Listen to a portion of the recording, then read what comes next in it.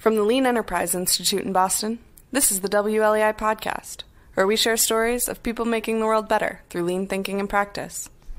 For more information about LEI, including how we can help you apply lean thinking, please visit lean.org.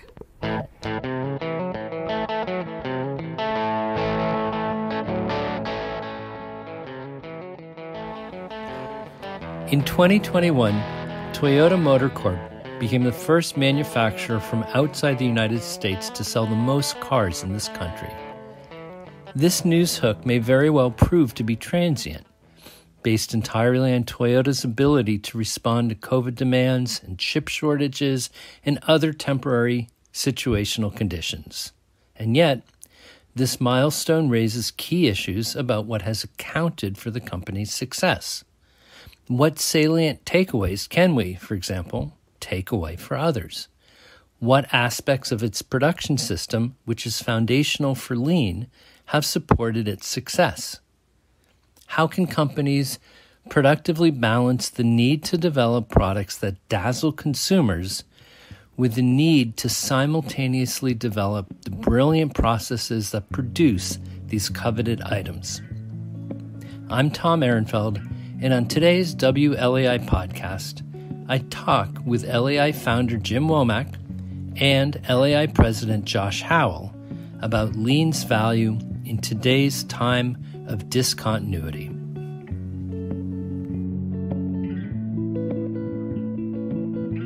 Welcome to the WLEI podcast. Uh, welcome, Jim Womack. Welcome, Josh Howell.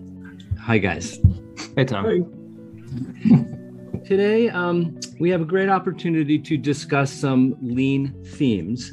The um, the news that prompts this conversation is the article that Toyota has topped General Motors in US car sales in 2021, the first for foreign automaker. And this is noteworthy, but possibly, probably temporary. And it really just creates a nice opportunity to explore some um, deeper takeaways. And you both have helped tee up this conversation. And one really intriguing question is whether a lean enterprise can be an industry disruptor in an age of technical discontinuity. And it just makes me curious about what kind of enduring qualities and advantages um, come with the pursuit of lean and the kind of following of it in a disciplined manner consistently over time. And um, what might be learned from a comparison of Toyota and, say, Tesla. And the the point is not to beat up on Tesla, which has been wildly successful, but to try to try to parse out what's worked for both of them and what challenges lie ahead for each and once again what we can can learn from them so um Jim, saying, go ahead. Are you, saying, are you saying beating up on Tesla has been wildly successful, or Tesla has been wildly successful, or both? I guess. Um, I was I meant uh, that Tesla has been wildly successful, and um, a lot of predictions of their failure have been premature, if if untrue.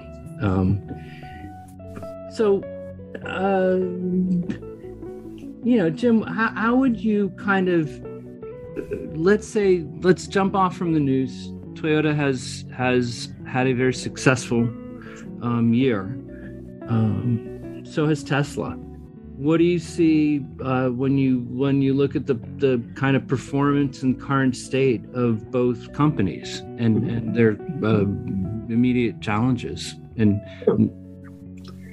well it's interesting that uh, toyota for 50 years was disrupting an industry not through products um, but through a different way to produce distribute those products manage the suppliers and so forth so it's very interesting. It's not what we think of as disruption. Uh, in this age of disruption, people are almost always talking about products, whether that's hardware or software, both. And so Toyota had a, a long history of disrupting through uh, creating better processes uh, behind the products. Jim, how do you? Uh, yeah. Just curious uh, to that to that statement. How how do you see then like the role that the Prius played, or even let's say Lexus? Well, those were neither um, normal Toyota activities. And the great growth of the Toyota company was not Prius, not Lexus, but uh, doing a sort of um, uh, mass market vehicles uh, in a way that their costs were lower, their quality was higher, their lead times were shorter, and so forth. I just say that as a background because uh, people look now at Toyota and many see this very slow moving, stolid uh, business and say, well, gosh, uh, in an age of disruption, that's a very vulnerable thing to be. Good grief, you know, this is the slow moving, uh, you know, plodding uh, creature out there in the middle of this competitive environment. Uh, this is not good. Uh, my point simply was that for 50 years, uh, Toyota was able to disrupt an entire global industry by uh, building a better process uh, without necessarily uh, building a more interesting product.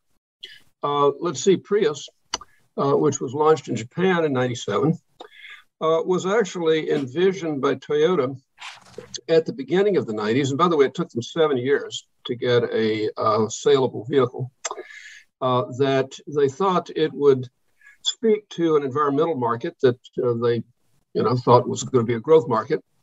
Uh, and they also thought that uh, smart young people would want to work for a company that was for a change building interesting products. The, the car was, uh, the Prius was born in the dot com bubble of 1990, when suddenly all kinds of electronics companies were the place to be. And Toyota was shocked that for the first time, young people graduating from university engineers uh, said, Gosh, Toyota's boring. Why, why would I come over there? So that was uh, uh, a response to a time. It was not their core doctrine, though. And similarly, Lexus was simply a move up into the luxury segment, uh, a very logical thing that uh, historically almost all car companies had done. Uh, they just didn't have the money to do it until 1990. So uh, the, the disruptive power of the company which we have tried to share uh, with uh, the whole world by trying to explain the methods they used, uh, was inherently uh, about process rather than product. It's also very interesting that uh, Toyota's basic stance on technology was to be a follower rather than a leader and to do it better. They would let someone else go dashing off, for example, and we'll get to this in a minute with electric cars. And then they would uh, take the time to think through uh, the best way to do it.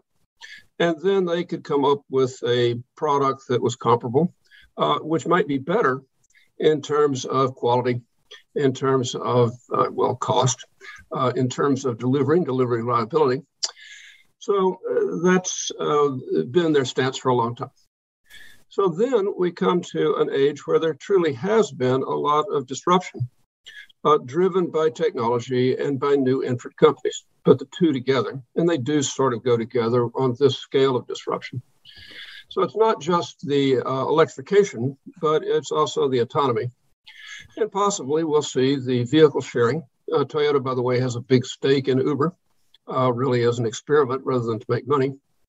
And then, uh, probably the most interesting thing uh, in terms of staying in business is that uh, modern day vehicles both generate enormous amounts of data and receive enormous amounts of data. And what do you do with those data as a competitive proposition? Uh, perhaps it can all be monetized. Perhaps that's the real money in the car business. Um, well, uh, who knows? But uh, that's a lot on the table of question marks of what to do about electrification, what to do about autonomy, what to do about asset sharing, what to do about what I call hyperconnectivity. Mm-hmm. And uh, as a business wanting to stay in business, Toyota wants to stay in business. Uh, like any other business, they would like to not just survive, but prosper. So, what is the stance of a lean uh, enterprise uh, in that point in time? So, that's kind of background. I was just going to ask a kind of background question, which is this presumption that organizational capability and technological excitement are like somehow different paths. I think over the long term, they converge. Mm-hmm. That companies that really mindfully develop uh, organizational capability for learning growth will find that the products they deliver to their customers, the customers value, mm-hmm. will manifest that care.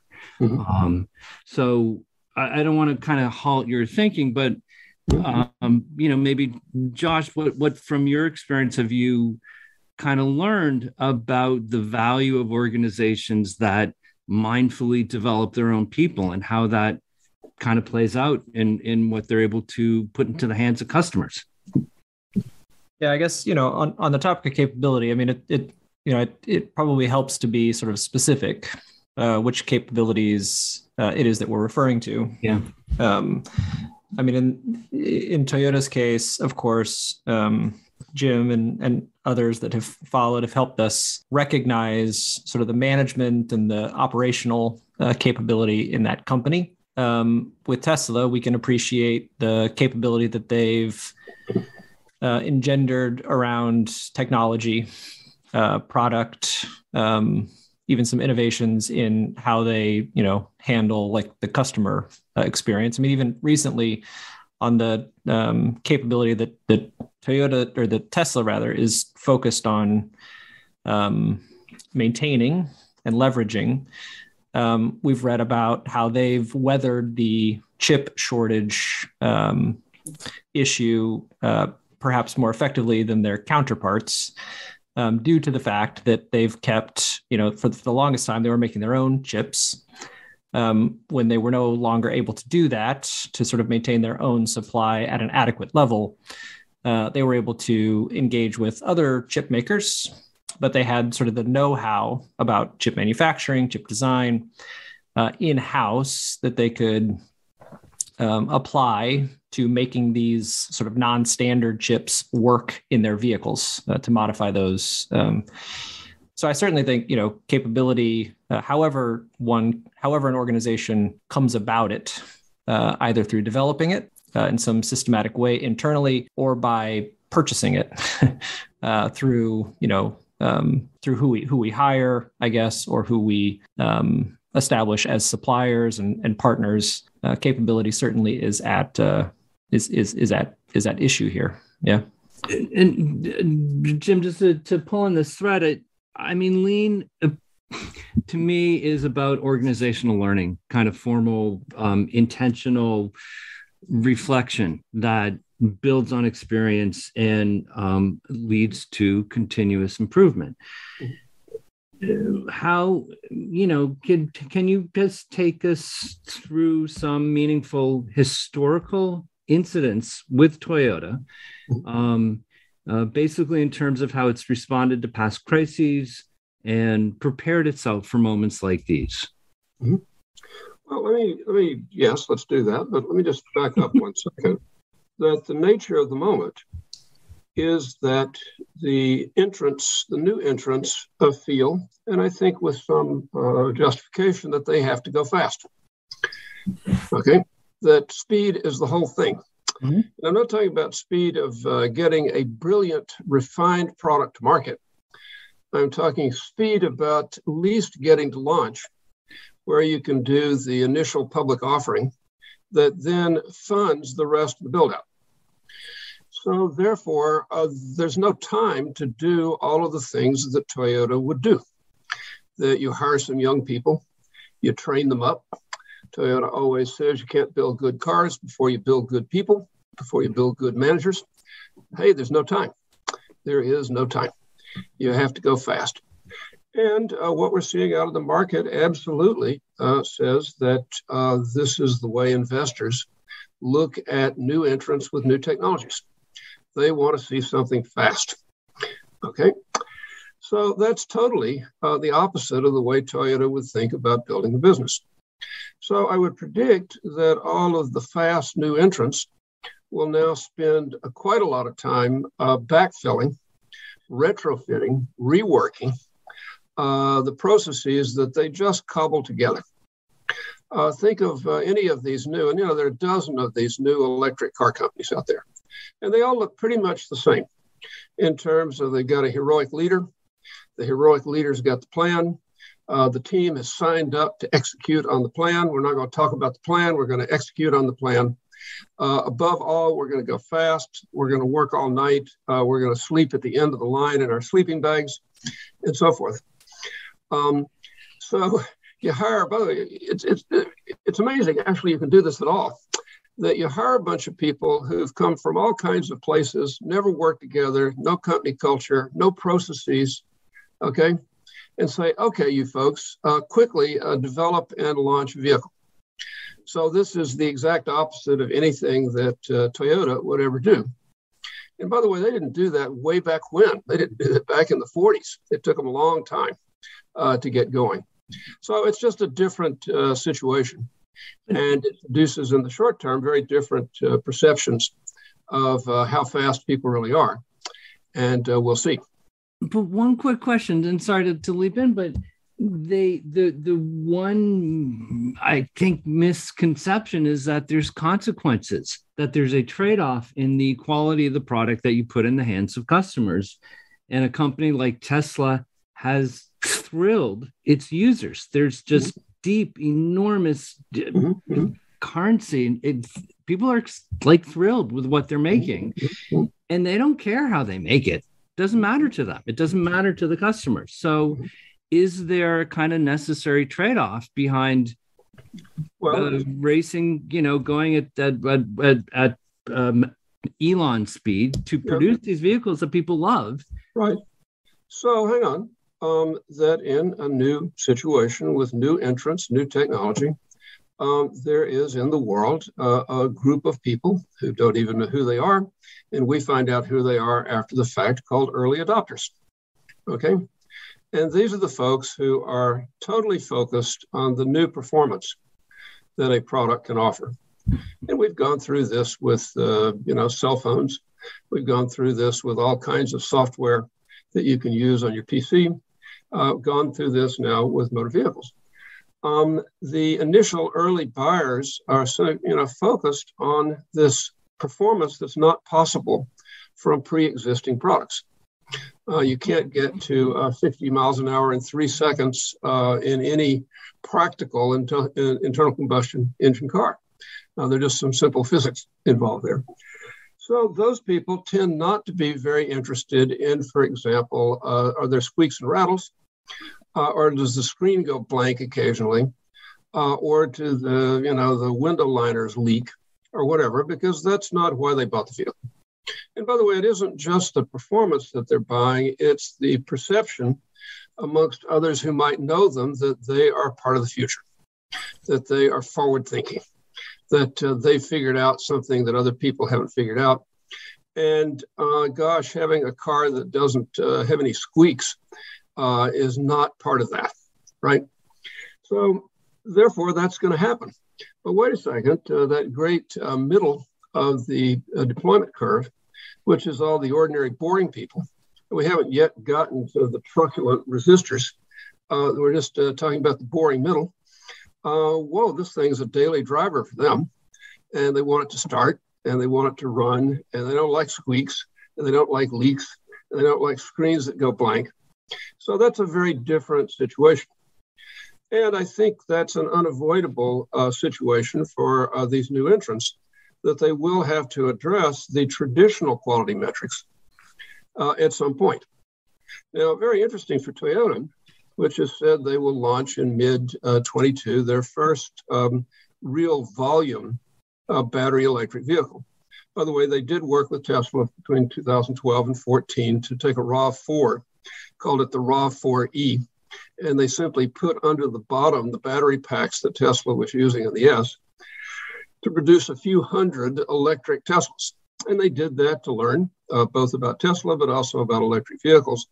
But uh, that was never going to be a serious uh, product. So now Toyota comes to market in mid 22 with the uh, what basically sort of a RAV4 electric. It's a it's a crossover rather than a than a um, than a true SUV. But Toyota being Toyota, it needs to be perfect. It's really interesting challenge. that uh, they can't produce the kind of dodgy product that uh, all of these, now look, there's nothing to do with Tesla, it's all of these new entrant electric vehicle companies are producing products with all kinds of things that are not really where they need to be. And it's okay because the performance they're offering is just so startling. And right. the image they give the customer is so satisfying. But Toyota doesn't get that slack. It's really interesting. Can they be the first to produce an electric vehicle? The, you know, the batteries can't catch fire, please. Uh, you can't brick it uh, for mysterious reasons out in the middle of nowhere. Um, you can't have rattles and squeaks. That's not allowed either. Uh, so it's interesting. Uh, we'll see whether Toyota can do that. It would be interesting to plot out the the sort of the curve of the early adopters to the folks in the middle to the resistors and how that you know how, how that sort of defines the customer base over time mm-hmm.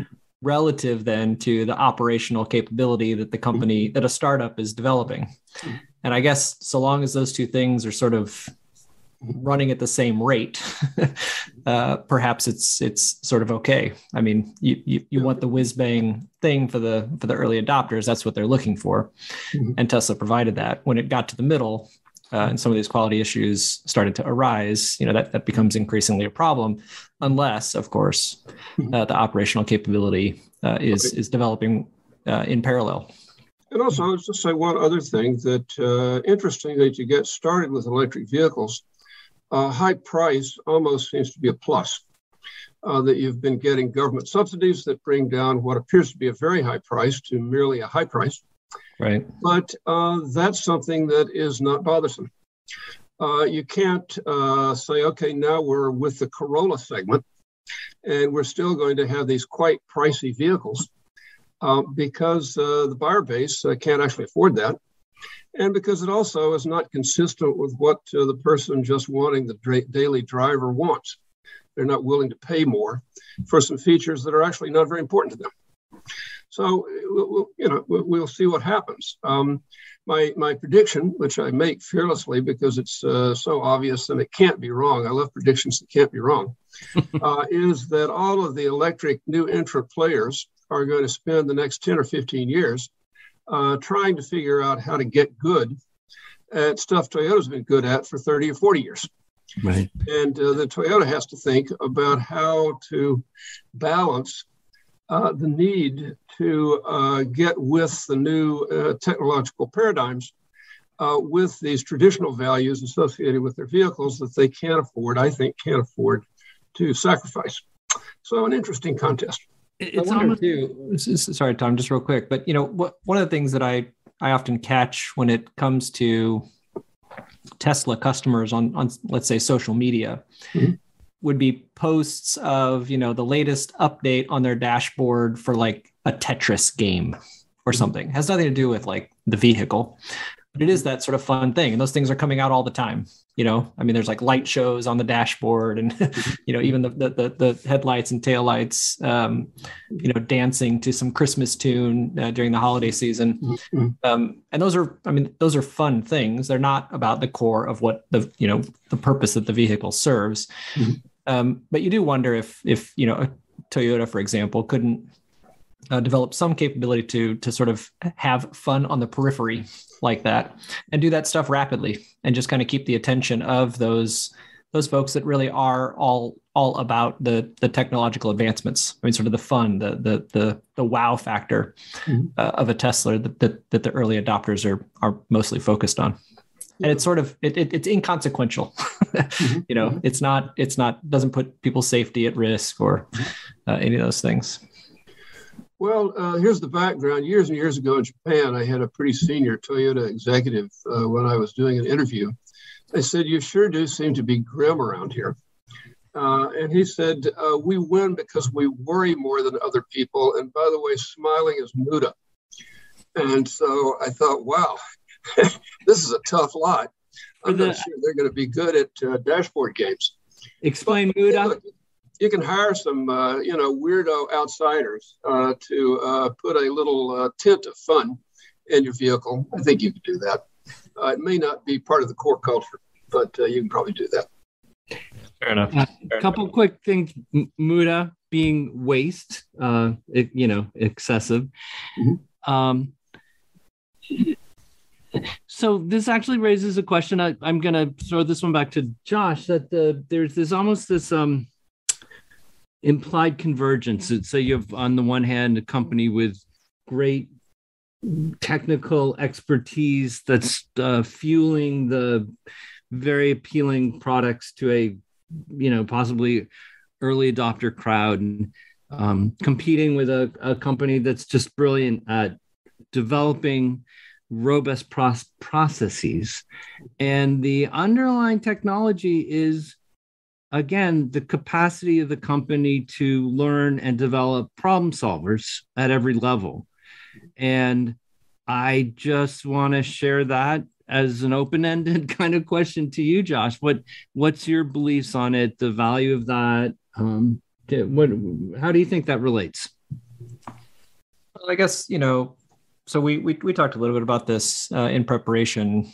Um, you know our framing here is sort of um, the the the prototypical sort of toyota like organization um, versus so to speak the the tesla like organization and i think even this conversation points out um, sort of the, the the the benefit of each. I mean, the sort of the strengths of each.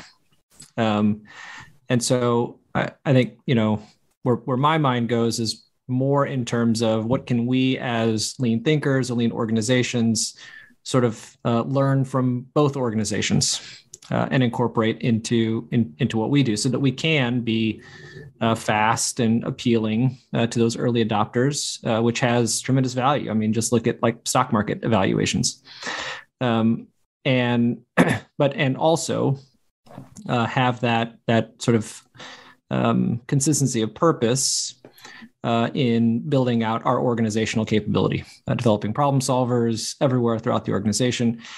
Um, you know, there's an organization that we've um, been interacting with uh, for a number of years that uh, it strikes me is not, not in the automotive industry, but that it strikes me is really trying to to to have it kind of both ways. Uh, and that's the organization uh, down in Brazil known as CI&T. Um, and what I appreciate about there, I mean, they, they wrote a book called Faster, Faster. so the notion of being fast and early and and you know um, ahead of the pack uh, is is definitely something that that they're trying to do as a software uh, kind of service provider. Um, but they also, in being fast, uh, they've developed, for example, like a 90 day um, kind of project cycle where you go through an entire sort of Hoshin Kanri phase and then some kind of A3 like planning into execution with much iteration, like fast iteration happening throughout that that execution phase. And they speak to you know the value of that approach, but also uh, the capability that that was required to be able to to, to use that approach, uh, and how continuing to use it uh, further develops uh, capability throughout the organization.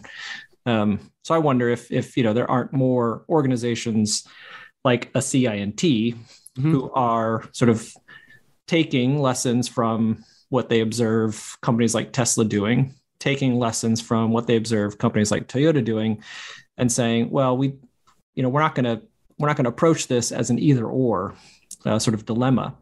Um, it's it's instead an and thing. Um, I wonder if you know. I, I guess I, I, sort of see that as the the pathway for us um, lean thinkers as we as we forge a path forward. Question: it, it, How does concurrent engineering, um, Jim? Let me ask you that. How does that translate specifically into what Josh is is is? Well, let me let me take a step back, uh, Tom. Uh, that I'll get to right where you are there in just a second.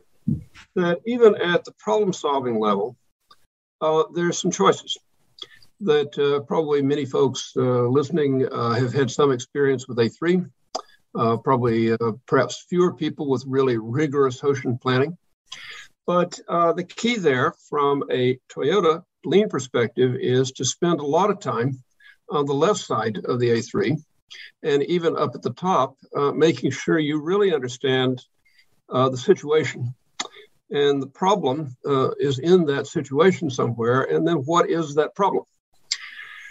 so that if you spend more time up front, as they say, you go slow to go fast. Yeah. And I've tried that on some of these new entrant companies, tried that personally. Uh, explained to them that you really ought to go slow to go fast. And they say the one thing we don't have is time. That uh, you're used to a clock speed that's just different from the clock reality of the current moment. So that's an interesting question. And I don't, by the way, I don't have an answer, uh, but it is really interesting that um, you're going to get a better result probably if you take enough time to fully understand the problem.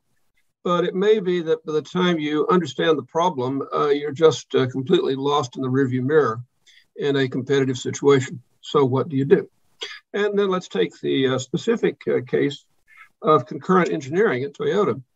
That uh, concurrent engineering, not to be confused with simultaneous engineering, simultaneous engineering, something totally different in which the people developing the next step in a development process can start work before the previous step is finalized because they understand each other so well and there's so much information shared that you can compress the steps and get to market quickly.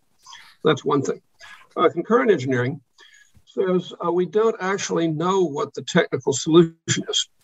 And so instead of very quickly saying, ah, time is of the essence. We've got to make a decision. We're going with this one. Uh, and then development is about proving that was the right decision. Okay. And that's uh, has been typical of most of the new entrants uh, in the car space in recent years. They picked a technology, they said, aha, and they've done some work, they've done some thinking, but here it is. We don't have time uh, to wait to, you know, reflect on this. We just got to go so that a company like Toyota looks very slow footed. And let me just take the case of the uh, battery car that uh, Toyota did the project with Tesla back in 2012 14. And I think they concluded two things. It was done at the Fremont uh, the factory that had formerly been the joint venture Toyota GM factory, became the Tesla factory. It's done right there. Set up a little sideline to uh, make a small number of these cars, design them. And what they concluded uh, was A, uh, we're just not like Tesla at all. we're just not like Tesla. We can never work with these guys.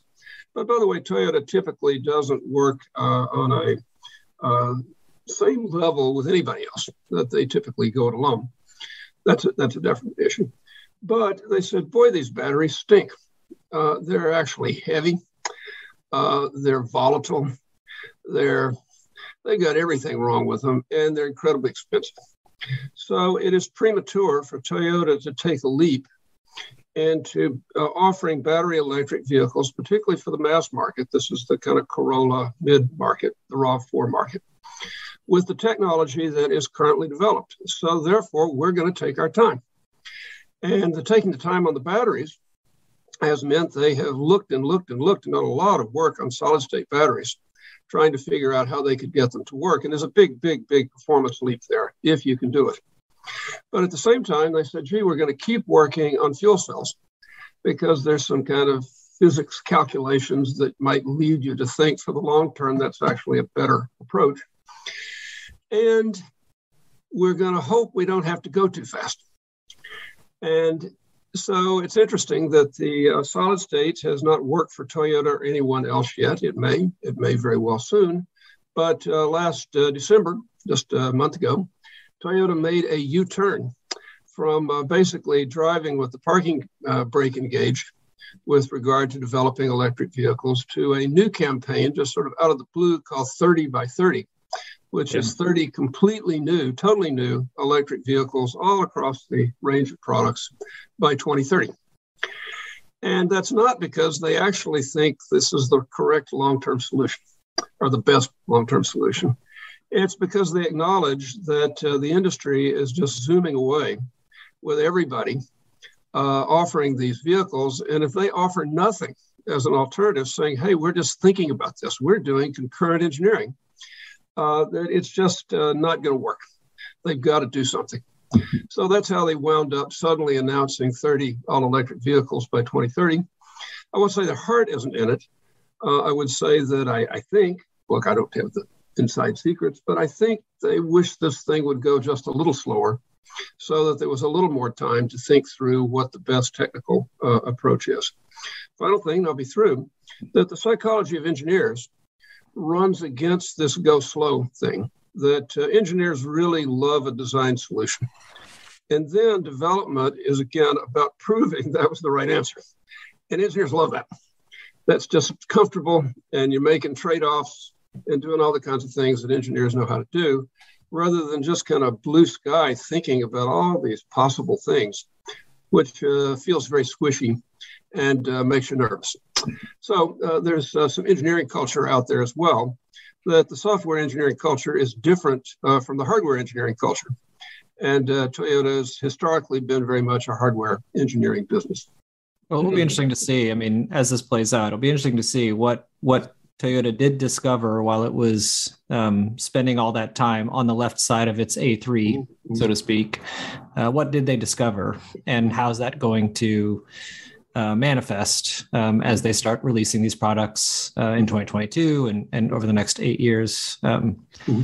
Uh, how, how, will they uh, catch up to, or perhaps race ahead uh, of their competition? Because they did spend um, spend time on the left side mm-hmm. um, through experiments with with Tesla uh, and other organizations. Can one of you guys actually define, articulate for our listeners what you're referring to when you say spending time on the left side of the A3? Sure, I can take that. Um, so A3, uh, as I think many in the Lean community would know, um, simply uh, referring to a size of paper um, 11 by 17 roughly uh, inches uh, as measured here in the US. Um, and so the insight that uh, Toyota developed uh, was that um, it's possible, and in fact, uh, arguably more effective, to put sort of all the critical information needed to effectively solve a problem onto a single sheet of paper. Uh, sort of by you know typically that organization gets organized uh, into a sort of left side of the A3, a right side of the A3. The left side laying out what's known about um, sort of the way things currently are, uh, the problem that we're trying to solve, what we understand about the current state. Uh, and then the right side, uh, sort of detailing what we intend to experiment with, some of the ideas we have, potential countermeasures, uh, if you will, uh, and what are sort of uh, planned actions um, will be. So we say the left side, it's that sort of the, the, the place where we capture what we're learning through the act of study, uh, studying the way things currently are, and and and seeking to understand well um, and frame well uh, the problem that we're that we're seeking to solve. Mm, okay, because. all of these trends just lead me to wonder about the um, deep relevance of lean um, right now in our economy with a really fast metabolism where company like tesla has been hugely rewarded with a go fast to go fast mentality with a kind of heroic hero mm-hmm. who has um, you know created a vertically organized company that has thrived within chaos with heroic fixes um, and has frankly delighted customers and profited enormously. Whereas um, Toyota, it, and it's not like a neat Toyota versus Tesla, it's using these two as we're just casting them as characters who embody differing values and approaches. Um, and the crazy thing is that Toyota was and is and remains disruptive, but I don't think is perceived as that um, mm-hmm. as much. And we're seeing ways that there's like this convergence of approaches, especially with 30 by 30 by Toyota. Um, so help me out by um, parsing through this and articulating what are the kind of like most important lean principles that perhaps are being missed or um, um, you know obscured mm-hmm. um, if one looks at the evidence of tesla's exciting success and and toyota's enduring um, success as well uh, uh, and forgive me if that's too open ended, but I, am I'm, I'm trying to pull together the different strands, please. Well, look, let's let's say that uh, first off, appearances are deceiving. Mm. That uh, all of the new entrants in the electric space have said they're going to go fast to go fast. Uh, and that's true up to the point of the first producible vehicle and the public flotation of their stock. And then guess what? They go slow. It's pretty interesting. If you took a start to finish timeline for Tesla for new products, is it actually any different from Toyota? Uh, if you've uh, looked at uh, the media in the last uh, 48 hours, well, the uh, famous Cybertruck, which was supposed to be a 2021 vehicle, is now suddenly a 2023 vehicle. So it's really slipped two years from the original idea. Uh, everything else that's been done at Tesla, uh, except the derivative products, the Y and the X, did not slip as much as the S and the 3. But uh, the perception is really important, particularly in this hyper, I would say, over. Um, you know, over inflated uh, investor market that you have to be quick to get something out that you can claim as a real vehicle then there is the small problem left of how do we actually make this thing uh, at volume with good enough quality, if even not very good quality. So part of this is just a mirage that uh, the fast appear to be faster than they are. And I think uh, in the longer term, the slow will turn out to be faster uh, than they appear right now. So some of this uh, will pass. It is uh, simply a phase uh, that's not much reassurance to uh, the uh, die-hard lean uh, thinker. Uh, thinking of my good friend Jim Morgan, former chief engineer, body in white of the Ford Motor Company, and the most articulate explainer of lean product and process development, who I think really does agonize a bit about these, um, you know, these electric jackrabbits that uh, goes zooming off and uh, make uh, the old-fashioned uh, development uh, process is now perceived by Toyota to be irrelevant. Uh, whereas, in fact, I think in the in the goodness of time, it turns out that you actually can't go fast to go fast, and you would be better off going slow to go fast. Which, by the way, you can do if you have an enormous amount of money in the bank. Which, by the way, Toyota does, and which, by the way, the new entrants to get started didn't. So uh, we'll see if this all uh, evens out and levels up. I think the you know p- perception can be deceiving thing. Um, we should also uh, sort of recognize to the extent that that's true with Toyota. I mean, you know, I guess the experiment you you referred to earlier of of the Toyota ran with Tesla uh, to to expose themselves experientially uh, to a very different way of working, um, and you know they they drew whatever uh, conclusions um, from that experience that they did. Uh, but we also hear you know from friends like Nigel Thurlow, uh, who Toyota hired uh, some number of years ago, who had deep experience in in agile methodology coming out of the software world. Um, you know that they, they brought him in uh, to learn from his experience and his know-how uh, and experiment um, with with this individual coming from a very different background and culture uh, to see how those um, you know, sort sort of faster um, mm-hmm. cycle based uh, approaches um, could jive and enhance and and um, influence positively. Uh, perhaps the more methodical uh, A3 based approach that the company had had developed and and uh, gotten such experience with. I mean, you know, I've even um, participate in conversations within the lean community with certain notable figures um, in debate around um, sort of the methodical, the, the traditionally methodical approach uh, of A3 um, versus something that um, you know often gets practiced more quickly. Uh, like like kata cycles, um, and sort of you know which is better. Um, or even which is Toyota more emphasizing these days. And you know there are reports that um, that Toyota itself uh, spends less time uh, on on the, the, thorough, methodical A3 today than they once did, um, migrating towards something more more quick. Uh, that you might find in you know in, in an agile methodology or or a kata approach. Mm-hmm. Um, now, again, I don't think it's a it's an either or um, situation, but uh, a, a, sort of a yes and thing. Um, but in any case, uh, these are these are interesting uh, debates and discussions and developments uh, that that uh, they're sort of at the center of of this conversation. Well, I'm gonna say that we should wrap up. We want to be um uh we want to wrap up. Let me just ask you guys each to share maybe final thoughts. Take a second. well, here's final thought for the uh, lean crowd that uh, this has been a particularly challenging environment.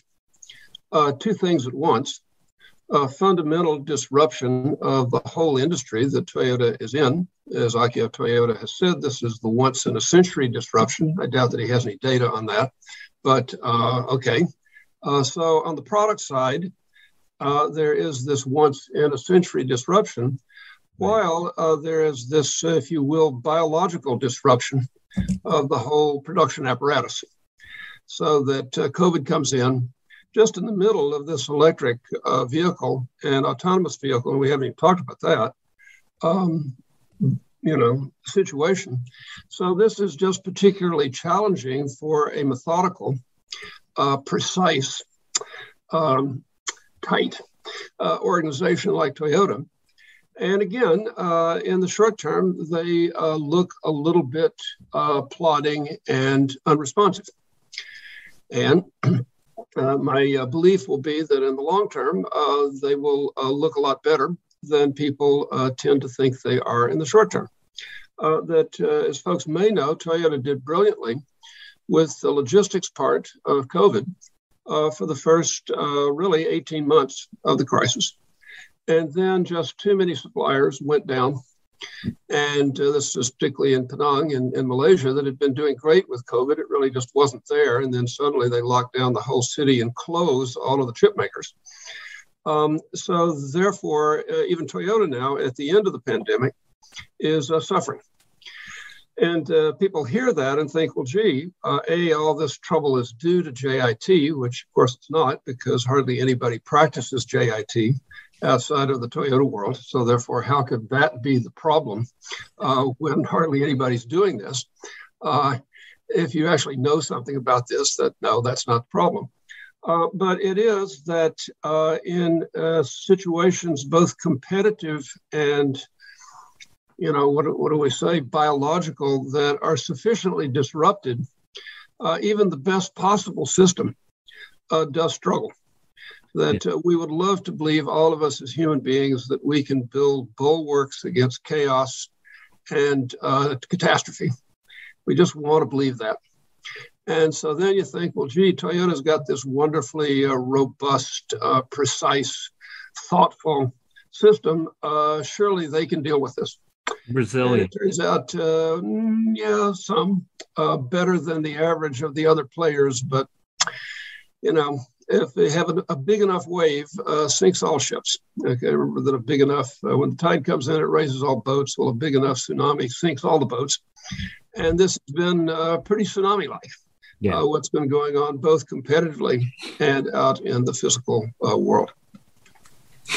Okay. I guess I guess my final thought would be, uh, you know, uh, th- this conversation sort of makes me think of that perhaps what's being disrupted at least insofar as our community uh, might be concerned, are certain notions of certain dogmatic notions.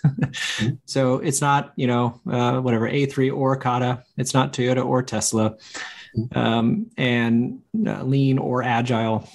Um, it's sort of look, all these things can be helpful, uh, can be effective, uh, and the question is, you know, what can we draw from from all of it? uh, in our own practice as individuals, in our own um, processes as organizations, um, to be both disruptive and methodical, uh, to be both quick and thoughtful, uh, pursuing high quality. I think you know I think TPS embodies that and has for the longest time, uh, but certainly out in out in you know those of us uh, emulating uh, seeking to learn from Toyota and put it into our own practice, uh, often do and have fall, fallen into certain dogmatic ruts. Um, and I don't know. I guess this makes me think that that, that that's where the disruption uh, might be. I think to our benefit, uh, ours as a lean community, uh, should we should we choose to you know, whatever, open our minds a bit uh, to learn from to learn from both.